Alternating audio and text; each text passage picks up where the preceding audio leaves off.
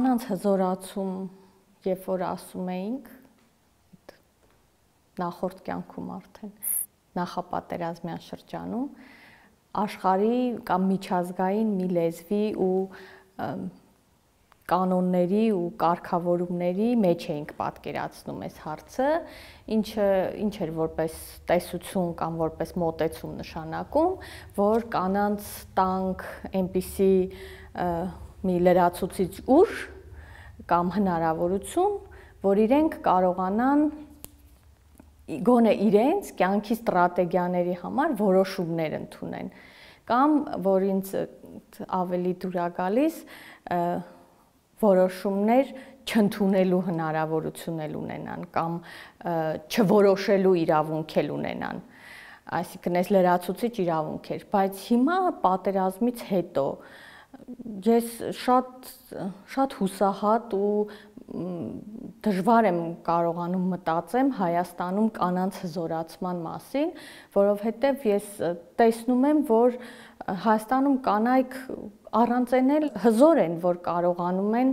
այդքան տարապանք տանել, այսքան վիշտ վիշտի մեջ լինել, բայց ելի պարտականություններ շարունակել պահպանել պատերազմի ժամանակ չեմ այդ անիմանալի ուժը, որ ապրումներ ունենալով, տարապանք ունենալով կողքինների մասին մտածել, ուժ գտնել երեխաների համար, ծերերի համար, անծանոթի համար, պատերազմի դաշտում եղած զինվորի համար, ամուսնու համար, չգիտեմ, եղբոր, ընկերոջ ու դրա հետ մեկտեղ տեղահանվել, կորցնել ամեն ինչ, կորցնել այն միակ բանը, որ մեր մշակույթում վերագրված է կնոջը, հա, այդ տունը, ընտանեկան միջավայրը, ոչ հանրայինությունը, հա, իր ընտանեկանությունը ու կորցնել ու հայտնվել լրիվ մի հատ ուրիշ հանրային դաշտում ու տեղել այդ առածգականությունը ու ճկունությունը ու հզորությունը ցուցաբերել, սկսել մտածել օրինակ ոնց անել, որ եկամուտ ստեղծել, ոնց անել, որ կողքիններից վիշտը ամոքել, ոնց անել, որ երեխաների համար շարունակել ապրել։ Ու դրա համար ինձ թվում է, որ այս հետ պատերազմական հասարակություններում եւ պատերազմական կանանց մասին խոսակցությունները միշտ պիտի ձգտենք այնքան նուրբ ու զգայուն տանել, որ այս տեղական առանձնահատկություններն ու տեղական կոնտեքստները չկորեն, էլի, որովհետև երբ որ ասում ենք կանանց հզորացում, դա մի բան է հասկացվում միջազգային օրակարգում, որ ասում են կանանց հզորացում հետ պատերազմական վիճակում, էլի ամեն հասարակությունը, ով ապրել է այդ պատերազմի արհավիրքը կամ ապրել է արհավիրք ու տրավմա ու ճգնաժամ, այդտեղ էլ է տարբեր, որովհետև այդ կանանց խնդիրները պիտի տեսնենք, շոշափենք, ոնց որ օրինակ ինձ թվում է կհամաձայնվեց, որ տղամարդկանցն էլ էլի Կարծեմ հասկանում ինչ նկատի ունեք, Ռուզաննա։ Առաջին հերթին երևի որ կա ինչ որ միջազգային օրակարգ, տեսություններ, քննադատություններ, որոնք մենք հաճախ ուղակիորեն փորձում ենք վերադրել մեր տեղային իրավիճակի վրա եւ հաճախ այդ երկուսը, այսինքն իրականություն եւ տեսությունը ճշգրիտ չեն համընկնում։ Դա իսկապես համաձայն եմ, որ անում ենք բայց մյուս կողմից էլ ձեր ասացի հետ կապված մի մտահոգություն կամ ավելի ճիշտ հարց ունեմ։ Արդյոք մենք հիմա այն փուլում ենք հաշվի առնելով նաև այն կարճ ժամանակը, որ անցել է պատերազմից հետո, որտեղ վերջի վերջո պատերազմի ճշգրիտ ավարտը ընդամենը 2 հա կամ 3 ամիս առաջ էր, այսինքն բավական վաղուց չէր, եւ արդյոք հիմա արդեն կարող ենք խոսել բոլոր այդ խնդիրների, արհավիրքների հոգեբանական գոմե կամ էմոցիոնալ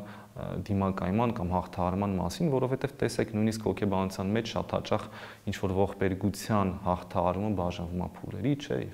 դու ունենում ես այս փուլը, հետո այս փուլը եւ այլն, եւ դա ժամանակի խնդիր է լինում։ Եվ երկրորդը, որ ես տպավորություն ունեմ, գուցե չհամաձայնվեք ինձ հետ, որ այս երևույթը, որը մենք կոչում ենք պատերազմ եւ այդ ամբողջ իր փաթեթը, բոլոր հարցերի, որ նաեւ պատերազմին հաջորդեցին, դեռևս խորապես գիտակցված ու ընկալված չի մեր հասարակության համար եւ դրա տարբեր արտահայտություններ կան, հիմա կարող ենք թվարկել, բայց չգիտեմ, գուցե դրանք ձեզ էլ ծանոթ լինեն, այսինքն մենք կարող ենք տարբեր տեղերում, տարբեր իրավիճակներում, նույնիսկ ամենակենցաղային, հա, ինչ որ իրավիճակում նկատել, որ կարծես թե շատ բան չի փոխվել, հա։ Կարճ ասած, ես չեմ համարում, որ մենք դեռ այս պահին խորապես հասկացել ենք, թե մեր հետ ինչա տեղի ունեցել, հատկապես աղետի ծավալի եւ խորության առումով։ Եվ սա հաշվի առնելով կարծում եք դեռ վաղ չի խոսել նրա մասին, որ այս ողջա եղելությունը հնարավոր եղավ հաղթարել եւ դիմակայել, թեկուզ իհարկե կանանց հետ կապված Թեև ես ասում եմ ամբողջությամբ կիսում եմ ձեր այն կարծիքը, որ իհարկե կան շատ ուժեղ կանայք, ովքեր նույնքան, եթե ոչ ավելի ուժեղ ապրումներ են ունեցել, տարապանքներ են ունեցել, որքան տղամարդիկ, ովքեր որ ստիպված էին ֆիզիկապես, այսինքն առերեսվել պատերազմի, հա, դաշնությունների հետ, այսինքն ես իհարկե կիսում եմ, բայց արդյոք վաղ չի սրա մասին խոսել։ Ինձ անձամբ շատ դժվար է խոսել այդ մասին, որովհետև ստացվում է, որ ես պիտի խոսեմ մյուսների փոխարեն ու նկարագրեմ իրենց ապրումները, միգուցե այն ապրումները, որ ոչ մեկ չի իմանա երբևէ, բայց քանի որ մենք այս առիթն ունենք, ակնկալվում է, որ մենք կարող ենք խոսել դրա մասին, բայց այդ շատ էմոցիոնալ դժվար է նաև եւ էթիկապես դժվար բեռա, որ դրվում է հետազոտողների եւ հանրային կյանքի ուսումնասիրմամբ զբաղվող մասնագետների վրա, եթե իրենք էլ էս էթիկական բեռը շատ սուր են զգում, ոնց որ օրինակ ես զգում եմ, ինձ դժվար է խոսել շատ կանանց անունից, որովհետև եւ նաեւ շատ տղամարդկանց անունից եւ ընդհանրապես պատերազմի էմոցիաների անունից, որովհետև դրանք շատ բազմա բազմազան ու բազմաձև էմոցիաներ, ապրումներ ու պրակտիկաներ են մի քանի հետևանքներ են տեսնում բոլոր պատերազմների արդյունքում։ Մեկը, որ օրինակ ոնց է ազդում կանանց վրա, տղամարդկանց վրա, հասարակական տարբեր խմբերի վրա, եւ մեկը դա այդ տարապանքի փլվելու եւ նորից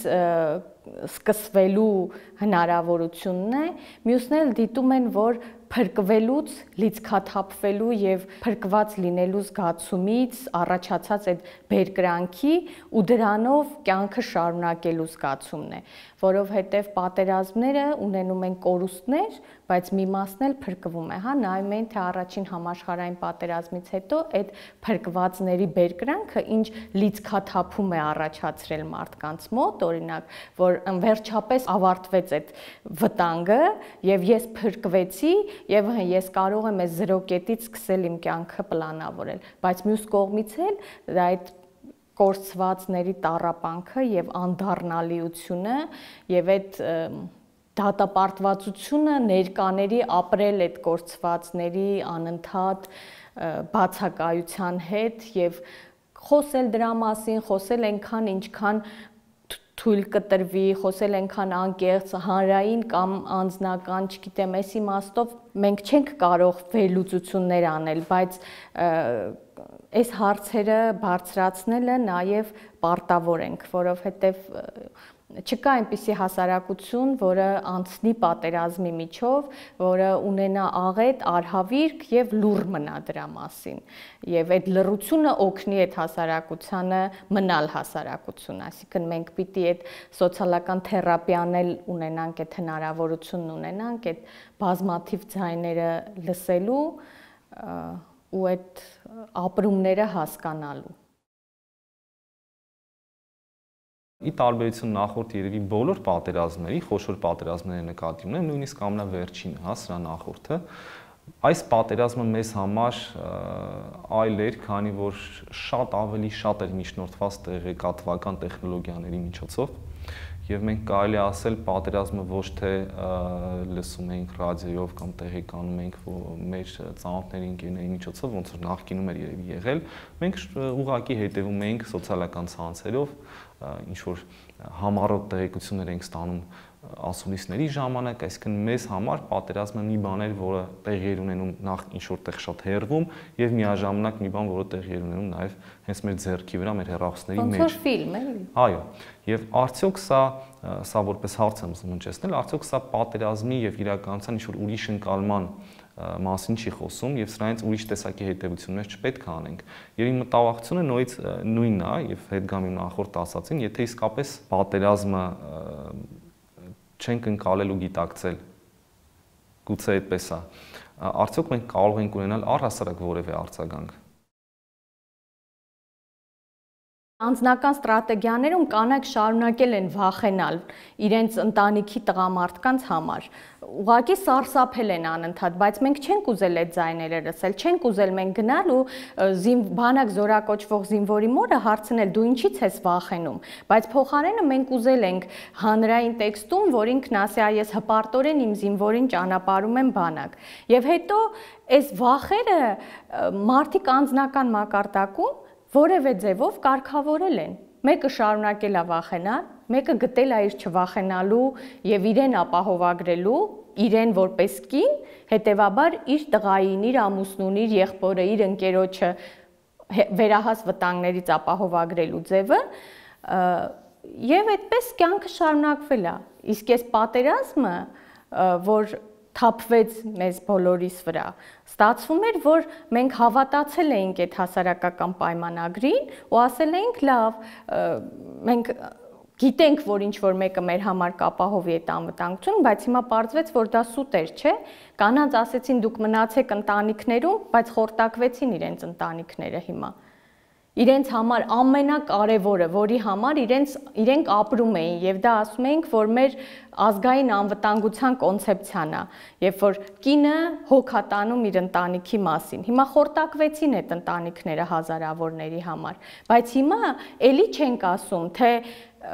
այ ինչ կանենք, որ դուք հիմա ապահով զգաք, բայց մարտի 8-ի կենաց ենք ասում։ Հիմա այս ստի, կեղծիքի ու այդ իրականությունից կտրվածության մեջ մենք նորից ակնկալենք, որ այդ հանրային, ընդհանրական մի հատ գիտակցություն կլինի ու հանրային արձագանք, ես չեմ սպասում։ Ես գիտեմ, որ հիմա անձնական փրկվելու ստրատեգիաներ են գործելու, որովհետև մյուս բոլոր բաները փշրվել են։ Ես ձեր ասածը զարգացնեմ, իրականում ձեր հիմնական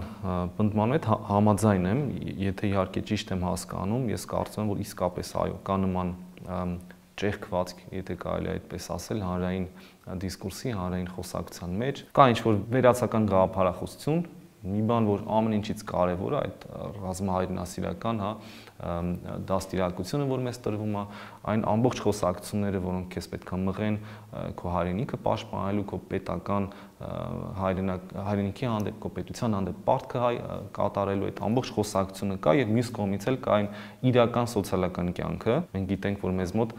ընդհանրապես 120000 դրամ է ստանում զինվորականը։ Նկատի ունեն ցածր օղակի իհարկե զինվորականները, ակնկալվում է, որ մարդը պետքա դրանով կարողանա ապրի, գոյատևի եւ շատ հաճախ մարդիկ ստիպված են երկրորդ, երրորդ աշխատանք անեն։ Այսինքն մի կողմից կա այս վերացական մոտեցումը, որ դուք ամենակարևորն եք, մյուս կողմից է կա այդ իրականությունը եւ այս երկուսը իրար չեն չեն բռնում։ Հակասությունը այս ճեղքը, որ առաջացել է, ուղղակի ինչ որ տեղ չի, սա հասարակության մեջ է իմ համոզմամբ։ Իսկն մարդկանց մեջ է եւ կարծում եմ դրա լուծումն էլ պետք է հասարակության միջից լինի ազարտային խաղեր խաղացողների մեջ մի հասկացություն կա, կոչվում է tilt։ Դա այն հոգեկան վիճակն է, երբ որ դու